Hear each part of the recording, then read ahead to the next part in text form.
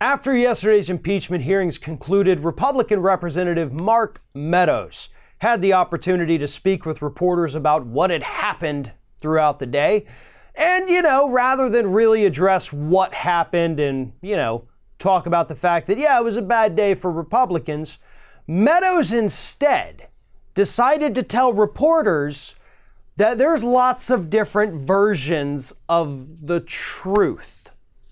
Now, here is the exact quote from Representative Mark Meadows. You know, it's amazing. He was prepping to come up here, talking about Taylor. He prepped for hours to come up here, then all of a sudden he gets this miraculous intervention from one of his staffers that reminds him of something. Does it concern me? No.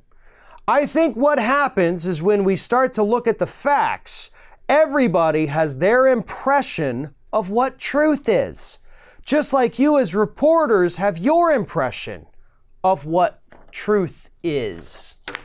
Um, no, Mr. Meadows, truth is the truth. You don't get to have an impression of the truth. You don't get to have your own version of the truth. You don't get to have your own reality where your truth is truth and somebody else's truth is fake. Truth is the truth. I mean, look, this actually really reminded me of the Clinton impeachment, where everybody, for, for months and months, years really, was harping on Clinton when he was like, well, it depends on what your definition of the word is, is. You know, we ragged on that guy because he challenged the definition of the word is. Well, Mark Meadows is trying to one up him here, trying to say, well, there's, you know, different uh, interpretations of the truth. There's different impressions of the truth. Depends on what your definition of truth is, really, is what this boils down to. We are watching history repeat itself, both, uh, folks, both with the Clinton impeachment and the Nixon impeachment here, except that in both of those instances, you had two parties that both seemed somewhat competent in either attacking or defending the person being impeached. Now we're dealing with only one side that's only mostly competent, which is the Democrats, and the Republicans who have no idea what they're doing. They don't.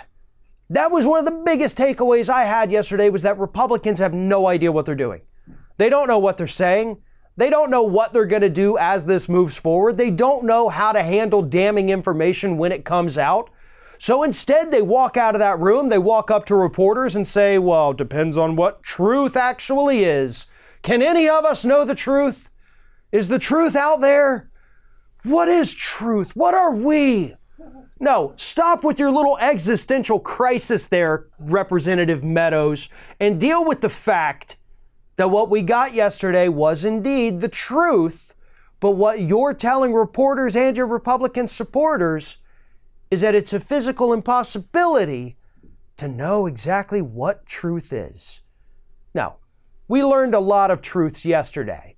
And just because they didn't jive with whatever it is you're trying to convince yourself, that doesn't mean that it's not actually the truth. Thanks for watching, everybody. And don't forget, if you like what you see here, like, comment, share, and subscribe to our channel. And now you can also become a member of Ring of Fire and get exclusive early access to certain Ring of Fire videos all throughout the week. Just click on the little join button right below the video.